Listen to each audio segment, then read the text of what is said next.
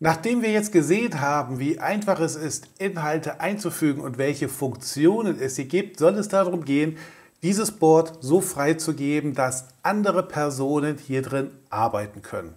Das tue ich über die Schaltfläche Teilen. Das heißt, wenn ich hier draufklicke, dann kommt erstmal ein Kontextmenü, wo ich ganz rechts erstmal die grundlegenden Zugriffseinstellungen festlegen kann. Das heißt, hier steuere ich, ob das Board überhaupt über einen Link freigegeben wird und ich kann es auch mit einem Passwort absichern, sodass nur Personen, die das Passwort kennen, zusätzlich zu dem Link eben das Board nutzen können. Auch kann ich hier die Rolle festlegen, derer, die in das Board gehen. Es gibt drei Stück. Es gibt den Betrachter, den Kommentator und den Bearbeiter. Der Bearbeiter, der hat die gleichen Rechte im Prinzip wie ich in diesem Board. Er kann Inhalte erstellen, er kann auch Formen erstellen und Pfeile und Kommentare und er kann auch von allen anderen die Inhalte verändern, verschieben und auch löschen. Der Kommentator, der kann lediglich diese Post-its, die Sticky Notes erstellen und kann Kommentare erstellen und kann auch nur seine eigenen Inhalte verändern und löschen, nicht die von den anderen.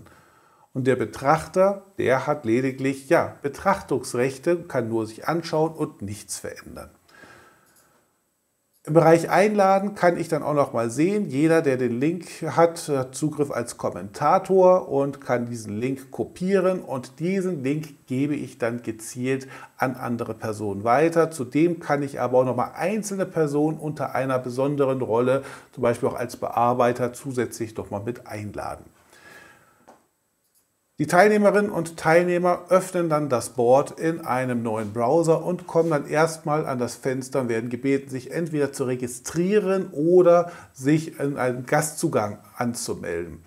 Ähm, ich empfehle hier einfach den Gastzugang, weil hier auch keine personenbezogenen Daten gespeichert werden. Hier geht es einfach darum, einen Namen anzugeben, einfach, dass Arbeitsschritte auch nachvollziehbar bleiben. Die Datenschutzbestimmungen müssen zugestimmt werden und dann geht es als Gast mitarbeiten.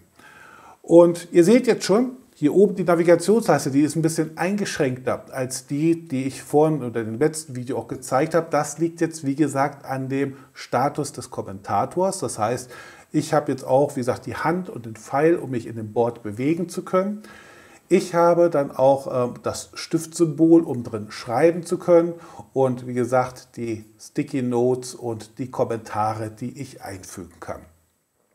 Deshalb muss ich einfach schauen, was sollen die Personen machen können, mit denen ich im Team arbeite. Sollen die über alle Rechte verfügen?